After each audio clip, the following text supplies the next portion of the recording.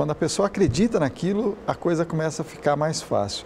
E me fala, quando foi que você acreditou no seu potencial para ser o marqueteiro? Eu acho que isso começou cedo, né?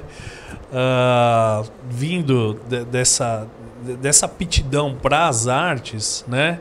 Uh, eu entendi já na escola que a gente que eu podia comunicar através disso, né?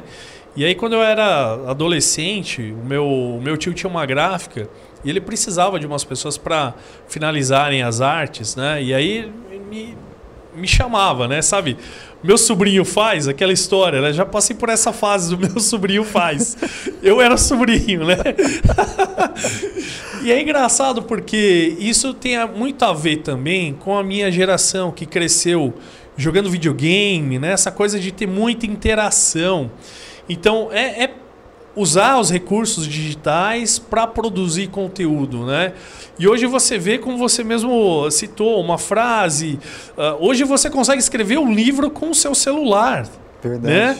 Você acessa o Word pelo seu celular. Verdade. Então, uh, hoje você tem muito mais ferramentas para poder utilizar, né? Então, uh, saber conectar, né? E acreditar nisso.